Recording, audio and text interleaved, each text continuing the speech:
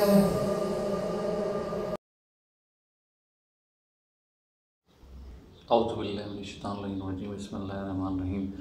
आज इंतहाई मुख्तसर सा तारफ़ कर रखता चलो कि डॉक्टर एहसान जो हैं, जो कि यू के से बिलोंग रखते हैं, उनसे मैंने टाइम लिया है। डॉक्टर साहब जो हैं, मुख्तलिफ़ यू के हिदायत एलेवा चैनल्स के अंदर होस्ट, भी होस्टिंग भी करते हैं और माशाल्लाह बहुत मज़ेबी भी हैं और दूसरा ये मैं आपको शो इंतहा मुख्तर से बता दूँ कि मारा मौला ने इनके हाथों में बहुत शिफा दी है और जो भी माशाल्लाह, और वो कुछ कोविड के हवाले से हमें टिप्स भी देंगे। पहले चलते हैं उनसे कुछ सोज सलाम भी सुन लेते हैं, फिर आगे उनसे गुफ्तु जारी रहेगी। जजाकल्ला जी, ज़रूर हुसैन भाई, मैं उस्ताद का कलाम पेश करूँगा। जैसा कि मुहर्रम हराम की भी आमद आमद है। अल्लाह सल महमद वाल महमद वाजल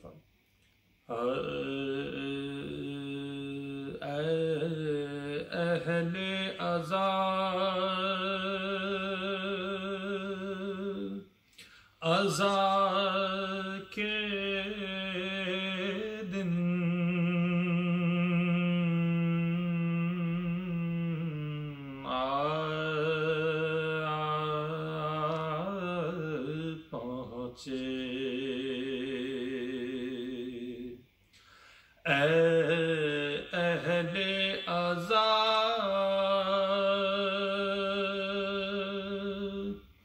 अज़ा के दिन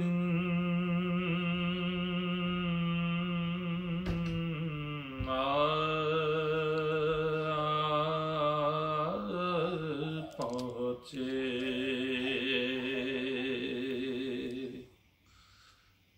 गम की रातें गम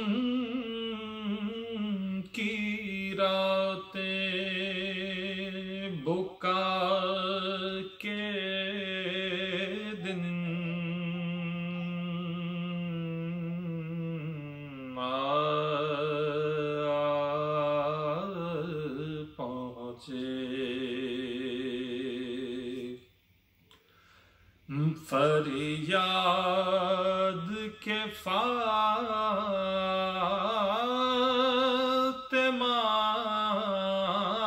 की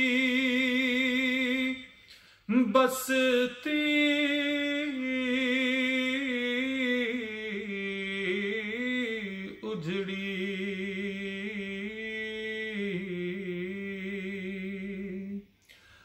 फरियाद के फातिमा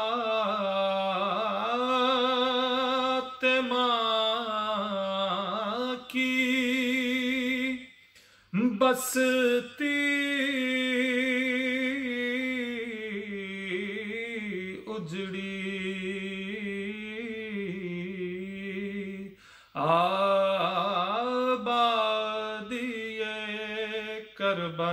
के दिन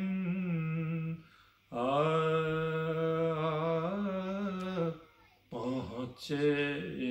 सुबह अल्लाह सुबह अल्लाह डॉक्टर साहब, आपने माशाल्लाह बहुत ज़बरदस्त पढ़ा और ज़ाहिर या उस्ताद की याद ताज़ा हो गई, माशाल्लाह माशाल्लाह। चलो डॉक्टर साहब, ये बताएँ कि दुनिया माशाल्लाह आपकी आवाज़ को पसंद करती है। आप किसको पसंद करते हैं? कौन से नवा खान को आप पसंद करते हैं? कौन से मनकबत खान को आप पसंद करते हैं?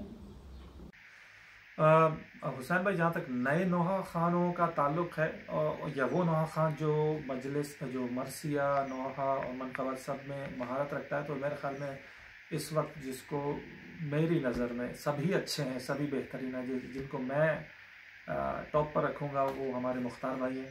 ये उनका कोई सानी नहीं है इस वक्त।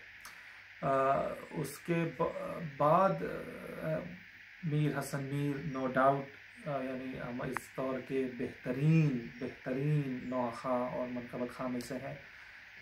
मरसिया भी पढ़ते हैं, लेकिन उस उस तरह नहीं जिस तरह वो नौहा या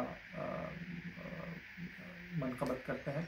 इसके अलावा रज़ा अब्बास इरफान अज़ा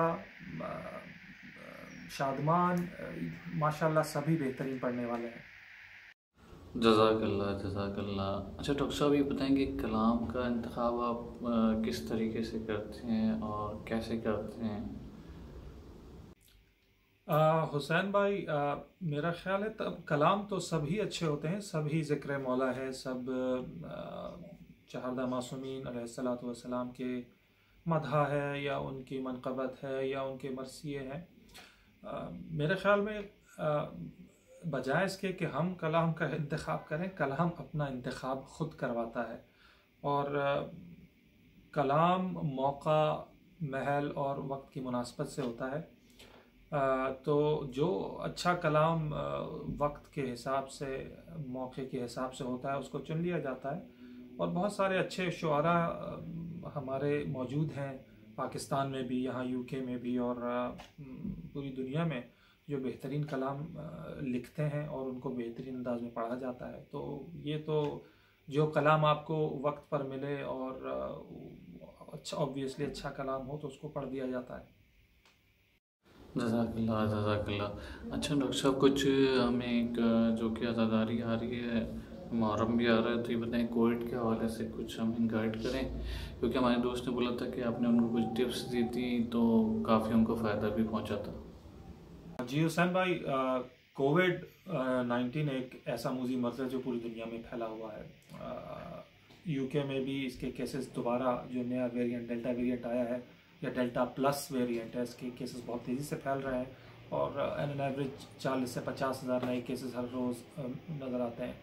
लेकिन जिस तरह पुराने कोविड के साथ जो मसला था कि उसमें हॉस्पिटल एडमिशन ज़्यादा हो रहे थे और बहुत ज़्यादा हो रही थी, खुशकस्मती से इस वक्त ऐसा सिचुएशन नहीं है क्योंकि मेजॉरिटी ऑफ़ द लोग जो हैं वो वैक्सीनेटेड हो चुके हैं, जिनको वैक्सीन मिल चुकी है। तो मेरा जितने भी सुनने वाले, देखने वाले लोग मोमिन मौजूद हैं, वो बेशक मजालस को, जुलूसों को भरपूर अंदाज में अटेंड करें, लेकिन जिस चीज़ से वो दूसरों को और अपने आप को बचा सकते हैं, वह वैक्सीनेशन है। इसके अलावा जो मास्क और जो सोशल डिस्टेंसिंग उसको कोशिश करें कि उसको मलहूत खातिर रखें।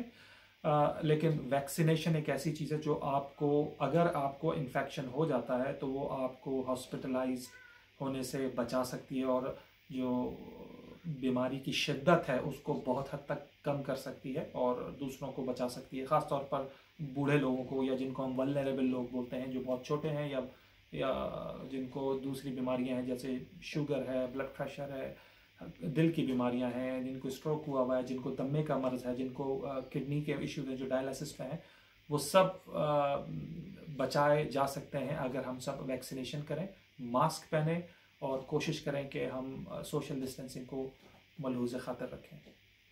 ज़बरदस्त सुबह बेशक। अच्छा डॉक्टर साहब, ये बताएँ कि पुराने नवा खाना में आपको कौन ज़्यादा पसंद है?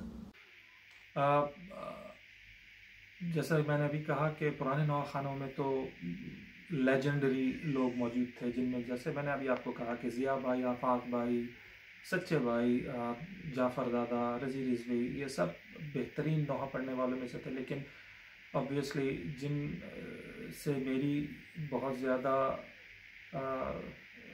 अटैचमेंट थी वो अपने, हमारे उस्ताद से जाफ़र साहब थे जिनके साथ हमने थोड़ा सा वक्त गुजारा और उनसे बहुत कुछ सीखा। तो मेरे ख्याल में उस्ताद का बेहतरीन ज़िक्र किया जा सकता है इस वक्त। अच्छा माशाल्लाह माशाल्लाह। अच्छा डॉक्टर साहब, मैं तो ख़ुद भी आपका फ़ैन हूँ और जब भी आप मुख्तलिफ़ टी वी चैनल्स में आते हैं नौ पढ़ते हैं, मरसिया पढ़ते हैं, माशाल्लाह, बहुत ज़बरदस्त ज़बरदस्त अंदाज में आपका अंदाज होता है, माशाल्लाह, और पूरी, दर्द आवाज़ होती है, माशाल्लाह माशाल्लाह से। जी हुसैन भाई, इस सवाल के जवाब में तो यही कहा जा सकता है कि परवरदिगार का और चौदह मौसमी सलाम का करम है, उनका शुक्र है कि उन्होंने ये मौाक़े दिए कि हम मरसिया कलाम पढ़ सकें और इसके साथ साथ आप जैसे सामीन का भी बहुत बहुत शुक्रिया जो सुनते हैं और अप्रिशिएट करते हैं। बहरहाल अल्लाह का लाख लाख शुक्र है कि उसने इस हैसियत में रखा कि हम कुछ कर सकें। अच्छा डॉक्टर साहब, मैं आपका तहे दिल से ममनून और मशहूर हूँ कि आपने अपने कीमती वक्त से और टाइम निकाला और हमारे सामीन के लिए भी टाइम निकाला और अपनी कीमती राय से भी आगाह किया और अपनी खूबसूरत आवाज़ से भी नवाजा बहुत शुक्रिया हुसैन भाई आपका। आपने मुझे भी मदू किया इस क्योंकि हमारी कोई हैसियत नहीं है लेकिन खुदा परवदिगार तमाम उमिन मोमिनत को सेहत व सलामती दे और इस मुहर्रम को अमन व आदशी के साथ सेहत व सलामती के साथ अख्ताम पजीर करें। वालेकुम अस्सलाम वरहमतुल्लाहि व